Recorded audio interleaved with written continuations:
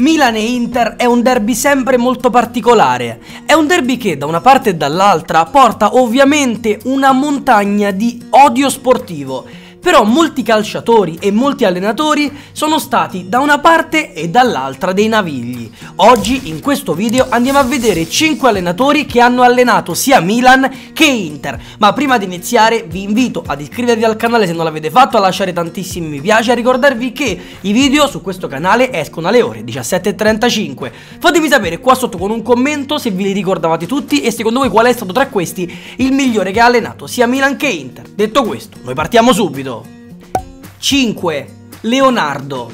Lo conosciamo, è stato un giocatore fondamentale per il Milan, ovviamente quando ha militato dal 97 al 2001 e dove poi ha chiuso la carriera prima di entrare in dirigenza, ma da allenatore la storia è stata completamente diversa. È il 31 maggio 2009 e Andrea Galliani in diretta televisiva annuncia che il nuovo allenatore sarebbe stato Leonardo è strana come decisione. Di solito questi allenatori dal Milan vengono presi semplicemente per tappare un buco e arrivare a fine stagione. E invece no. Il Milan di Carlo Ancelotti va a Leonardo per due anni. Il suo debutto ufficiale avviene il 22 agosto del 2009. E adesso vi sfato un tabù, perché il Leonardo Rossonero, allenatore del Milan, non ha fatto malissimo. Quell'anno il Milan, ok, farà prestazioni altalenanti, alcune vittorie importanti, altri sconfitti o pareggi molto deludenti e cocenti. Però devo sottolineare e ammettere come il Leonardo, allenatore del Milan, il primo anno centrò la qualificazione diretta in UEFA Champions League, quindi senza passare dai preliminari, e sconfisse per la prima volta nella loro storia il Real Madrid al Bernabeu, vincendo 3-2. Addirittura l'ultima giornata di campionato sconfisse la Juventus 3-0.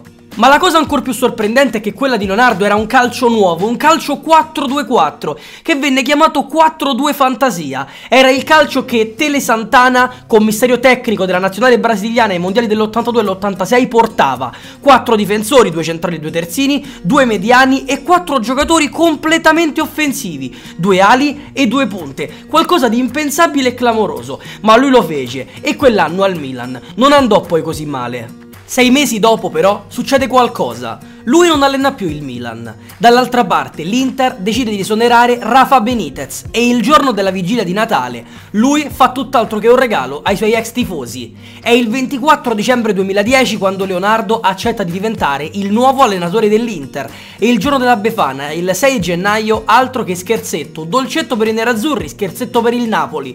L'Inter di Leonardo alla prima vince 3 a 1. Sarà un Inter fantasmagorica che nelle prime 13 partite otterrà la bellezza di 33 punti, stabilendo un record che mai nessuno aveva fatto, superando Fabio Capello con la Juventus nel 2004, Gigi Simoni e Marcello Lippi. Ma non solo, perché nel 22 di maggio del 2011, addirittura vincendo 3-1 contro il Catania, farà 12 vittorie casalinghe di fila in campionato in 12 partite è record pari a quello di Invernizzi e di Tanzini Cappelli. Quell'anno l'Inter arriverà seconda in classifica, dietro solamente alla sua ex Milan. Perderà il derby e tanto gli basterà per non raggiungere i rossoneri in vetta alla classifica, nonostante dopo l'esonero di Benitez tutto si pensava tranne che una chiusura così degna.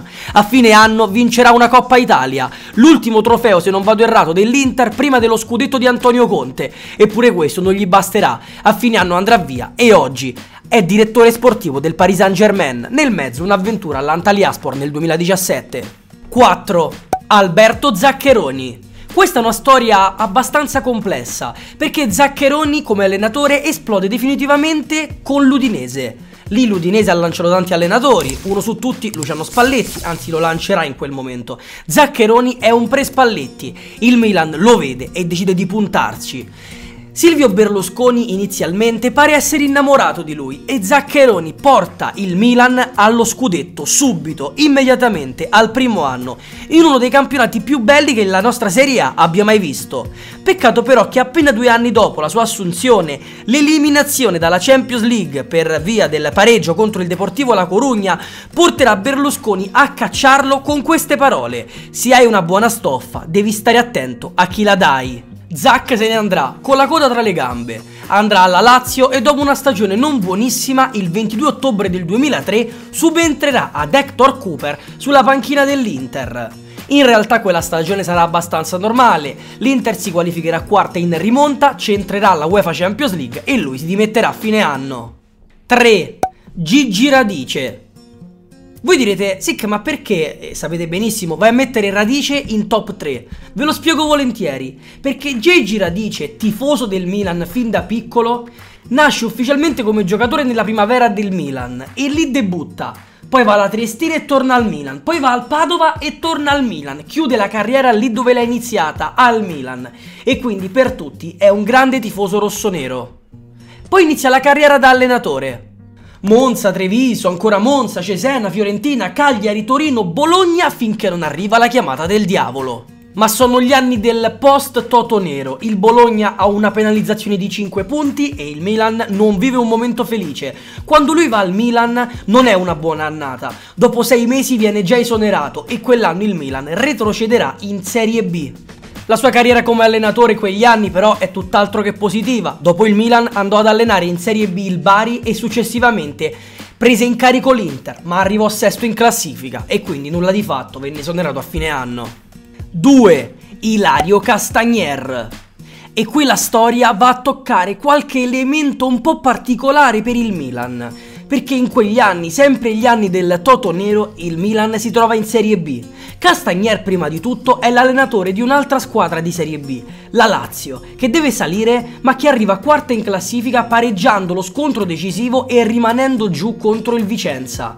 A fine anno Ramaccioni, direttore sportivo del Milan, chiede a gran voce al presidente Farina Castagnier e viene accontentato. Quell'anno, voi direte, non è stato eccelso per il Milan ed effettivamente no, perché giocavano in Serie B, ma quella è la stagione in cui Castagnier e quindi il Milan lanciano Alberico Evani e Mauro Tassotti, due giocatori che faranno la storia del nostro calcio. Fatto sta che però una volta in Serie A, Farina, il presidente Farina, litigherà con Castagnier e deciderà comunque di esonerarlo. Che poi in realtà in Serie A farà bene perché comunque gli daranno la possibilità di iniziare però eh, verrà comunque esonerato con 6 giornate ancora da giocare. E allora all'improvviso la stagione successiva, 6 giornate dopo, si accaserà all'Inter. Non andrà benissimo anche qui, quello è lo storico campionato in cui vincerà l'Ellas Verona, l'unica volta in cui vincerà l'Ellas Verona in tutta la loro storia.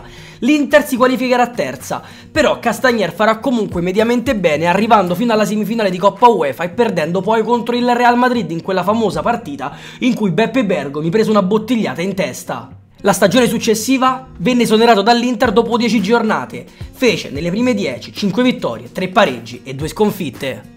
E uno Giovanni Trapattoni. Beh, diciamo che qui la situazione è particolare perché per Trapattoni il Milan è il suo Milan, ma al Milan come allenatore Trapattoni non fa bene. Il Trap esce come giocatore dalla primavera del Milan e poi giocherà nel Milan dal 57 al 71.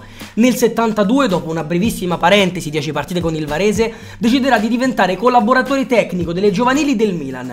Poi diventerà allenatore ad interim, vice e infine nel 75 ne diventerà ufficialmente il mister. In realtà la sua situazione da allenatore del Milan è un po' particolare perché lui non allena mai eh, estremamente con impegno ed edizione il Milan, ma perché non glielo permettono. Eh, tra una volta in cui fa il vice, una volta in cui va, va a vedere i giocatori all'estero come, come, sono, come affrontare le squadre, una volta in cui ha tre persone davanti, una volta in cui viene accompagnato, comunque non ha mai modo eh, di sfruttare le sue capacità e quindi effettivamente il trap non riesce a farsi vedere fin quando alla porta non bussa la Juventus. Con la Juventus Trapattoni vince tutto e con Trapattoni la Juventus vince tutto. Dieci anni d'oro dove la Juventus diventa la squadra più forte del mondo. E poi è il 1986 Fine stagione 85-86, Trapattoni aveva già annunciato che se ne sarebbe andato dalla Juventus, un po' come ultimamente, ultimamente per modo di dire, ha fatto Allegri. E allora Ernesto Pellegrino, presidente dell'Inter, bruciò sul tempo Berlusconi che lo rivoleva e se lo portò a casa. Il Trap divenne il primo allenatore a diventare mister di Inter, Milan e Juventus. Che poi in realtà è il primo italiano perché qualcuno prima di lui, l'ungherese Joseph Viola, c'era riuscito allenando la Juventus nel 26, l'Ambrosiana, l'Inter nel 28 e il Milan nel 33. Ma era un altro calcio. Trapattoni quando va all'Inter lascia tutti a bocca aperta e con i nerazzurri si toglierà anche qualche soddisfazione. Vincerà quel famosissimo scudetto dei record. Pensate che addirittura otterranno 58 dei 68 punti disponibili. Un record nell'era dei due punti a vittoria. Vincerà praticamente tutto, ottenendo il campionato con 5 giornate d'anticipo e sconfiggendo qualunque record precedentemente scritto. Porterà a casa anche una Coppa UEFA, riportando un trofeo europeo all'Inter dopo diversi anni tra pattoni all'Inter si tolse delle grandissime soddisfazioni, non quanto quelle alla Juventus, ma sicuramente meglio di quelle che ottenne al Milan.